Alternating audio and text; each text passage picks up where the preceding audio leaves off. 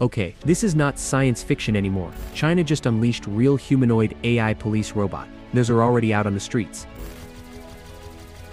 These things don't just look human, they move like us, scan crowds, identify people and even report suspicious behavior in real time. They're not rolling drones or bulky security bots. These are robotic patrol officers wearing high-vis vests and walking beside actual cops in places like Shenzhen. And what they can do will absolutely blow your mind. Let's break it down. We are so screwed. All at the same time that this DeepSeek AI is out there. Engine AI's PM01 is now on patrol in Shenzhen, the first humanoid robot to join China's public security efforts. Standing 1.38 meters tall and weighing 40 kilograms, PM01 wears a high-visibility police vest identical to its human counterparts. What sets it apart is its agility. The robot features a 320-degree waist rotation, which allows it to scan crowds without moving its feet. Its internals include industrial-grade actuators, a vision system capable of recognizing faces and license plates, and microphones designed to process voice commands in both Mandarin and Cantonese. It recently went viral on Chinese social media for executing a fully landed front flip. PM01 is being offered to business and educational institutions at a price of 88,000 yuan roughly $12,000. That's cheaper than the G1 model from Unitree which offers more athletic features. Currently, PM01 is assisting tourists in helping locate lost children. However, local police report that it can also transmit suspicious behavior directly to command centers in real time. This rollout is part of a broader national effort in China to deploy robots in public safety roles, not just in law enforcement but across firefighting, surveillance, and emergency response systems. PM01 might be the first humanoid, but it's far from the only robot China is testing for public safety. In late 2023, Chinese officials trialed the RTG, a spherical robot designed for multi-terrain patrol. It can move across land or water at speeds up to 35 kilometers per hour and is built tough, it can survive an impact from a 4-ton vehicle. Meanwhile, Deep Robotics is developing robots with wheel-legged designs. These machines can climb stairs and are equipped with thermal cameras that detect fires before human firefighters are even deployed. But PM01 is significant because it's the first to feature a truly humanoid form. This makes it more recognizable and potentially more approachable in public spaces. And with a price tag of $12,000 per unit, PM01 is affordable enough for local governments to deploy multiple units across a city minus a full robotic squad that doesn't break municipal budgets. While PM01 is patrolling in Shenzhen, China's robot ambitions were on full display at Auto Shanghai 2025, where humanoid robots took center stage. The standout was XPeng's humanoid robot Iron, standing 5 feet 8 inches tall and weighing 154 pounds. Iron is designed to blur the line between self-driving cars and service robots. Engineers built Iron with 60 joints, giving it a total of 200 degrees of freedom. Its hands alone contain 22 joints, allowing for precise movements from threading a needle to using a touchscreen whirs without the stiff, mechanical motions common in most robots. All this motion is powered by XPeng's custom Turing AI chip, which can handle 3,000 trillion operations per second, performance typically found in server-class hardware. Iron runs on the same cockpit AI used in XPeng's electric vehicles. That means the same software that drives your car could eventually operate your housekeeper robot. XPeng refers to this as their AI tech tree, Minity unified platform designed to connect EVs humanoids, and even flying taxis through shared AI infrastructure. During its demo, Iron showcased key capabilities it bumped shoulders with audience members, answered questions in Mandarin, and lifted a fragile porcelain cup without breaking it. These small actions highlight major strides in robotic manipulation and natural motion. While humanoid robots take physical form on the streets and stages, the control systems behind them are evolving just as fast. Abacus AI recently rolled out a pro-tier upgrade to its large language model agent known as Deep Agent. For a small additional fee, users can now perform complex automations with a single line of natural language input.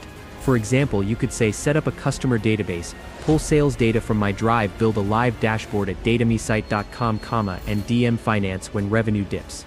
And in the time it takes to brew coffee, Deep Agent will spin up a PostgreSQL instance, write the schema based on your description, load every relevant CSV file from the target folder, keep the table continuously synced in the background. It also claims an unused subdomain, issues an SSL certificate, deploys a polished web front-end, wires real-time charts directly into Slack, giving teams instant visibility into live data. For reports or presentations, users can describe a style minar like sleek EV market overview, muted blues, Deep Agent generates matching visuals and integrates them directly into documents. Because this upgrade builds on existing integrations with browsers, Gmail, Jira and slide decks, users can chain commands like scrape competitor pricing, refresh the database, update the dashboard, email the deck.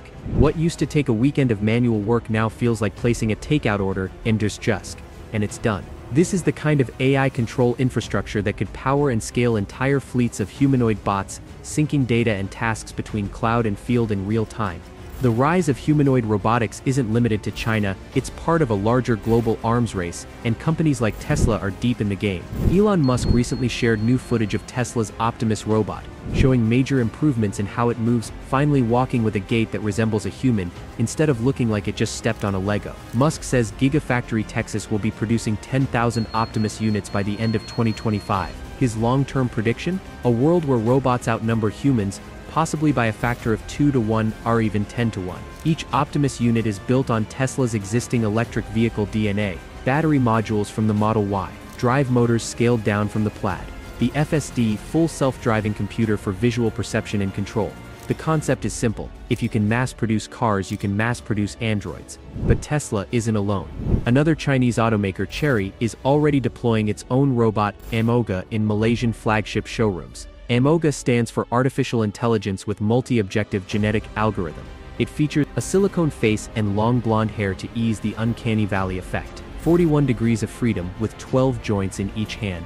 A top speed of 1 meter per second.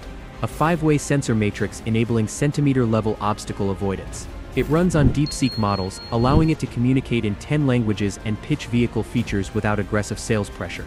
Chery calls this its human-like motion library and the bot's gestures genuinely appear natural based on demo footage. So while Tesla and US robotics grab headlines, Chinese companies are already placing these bots into real-world customer-facing environments. While humanoid bots are handling public safety and sales floors, the next frontier is heavy industry Euro and, it's massive. California-based RIC Robotics is developing a machine called Zyrex, and it's unlike anything else currently in deployment. Zyrex stands at a towering 20 feet tall and is designed to perform high-impact tasks like welding, carpentry, large-format 3D concrete printing. This machine is being built to solve two major problems in the U.S. construction sector.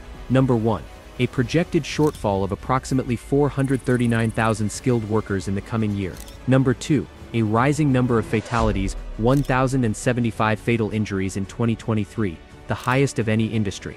Zyrex uses LiDAR and vision language action models to interpret real-time sensor data and compare it against BIM building information modeling blueprints, reducing errors and keeping human workers out of dangerous zones.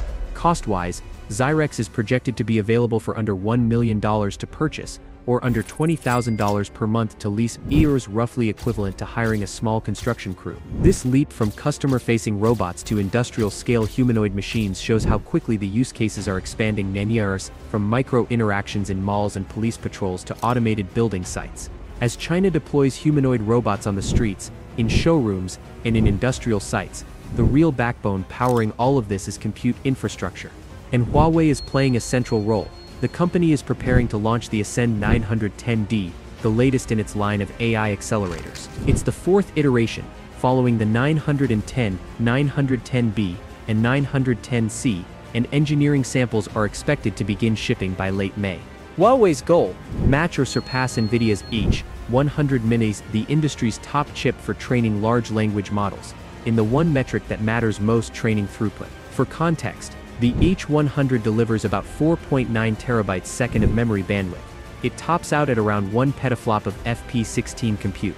Huawei's current 910C hits about 800 petaflops of INT, 8 or around 400 petaflops of FP16, with power requirements compatible with standard 700-watt data center racks. The upcoming 910D is expected to push these numbers even higher, while improving energy efficiency, this development is crucial because US restrictions have blocked China from importing high-end NVIDIA GPUs since 2022 citing their dual-use military potential. Chinese AI teams have been forced to rely on older hardware or pay gray market premiums and to attain. The Ascend 910D can drop directly into existing PCIe slots or Huawei's own Kunpeng servers, giving China's developers a path to continue building and training large AI models without foreign dependency. This mirrors what Huawei pulled off in smartphones shipping the Mate 60 Pro in 2023. Powered by a fully domestic 7nm Kirin chip, despite being on the US Entity List for six years. Huawei's approach, use a local lithography stack, maximize on-chip SRAM, compensate for older process nodes through software, using tools like its CANN compiler to optimize frameworks like PyTorch and Mindspore.